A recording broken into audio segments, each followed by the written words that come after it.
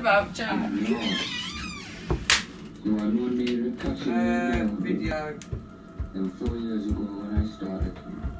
I sat with a manual typewriter in a little room and typed the transcription. It was the most peculiar feeling in that room. It was like you, you were sick to the pit of your stomach. There was this tape that allegedly had come from the Ripper. You can see by the marks on the back of my fish that other fish are eating him. And my other garfish is dead now. And I think it's because of these new fish, and it must be because of these new fish. And I've got to take them out of the tank. Is there anyone in or around Jaywick with a tank so I can put these fish into it? I need them out of my tank now. These fish have killed one of my gars. Uh, It must be them. And I can't believe they're eating the other gar. And I don't want this gar to die. Can't have both my gars die. I need help with these four fish. I need help now. Anyone with a tank in or around the surrounding area, I need to bring these fish to you now. Or this, on, I need to save my gar's life.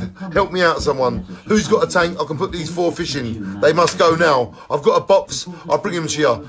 Ten minutes. I need help now. Help me save my garfish. I'm not going to sleep until I've got these fish out my tank. They have killed one of my garfish. And look, my, my last surviving garfish. Look at look at his tail. Look, it's been eaten alive.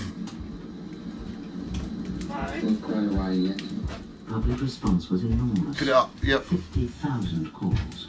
I can't see myself being Oh, late and Billy's in just there. yet. We've got all the children detectives out now pouring off. Eating my garfish.